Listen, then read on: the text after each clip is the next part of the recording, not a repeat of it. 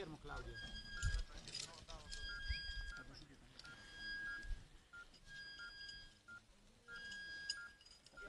Io sono a positivo, eh, tanto per... Va benissimo. Vedo Sì, che sì, mi sì, prendi d'accordo. prelievo.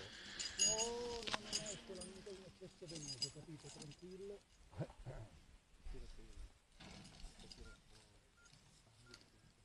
Sergio, come va? Bene, non ce la faccio più, c'ho la gola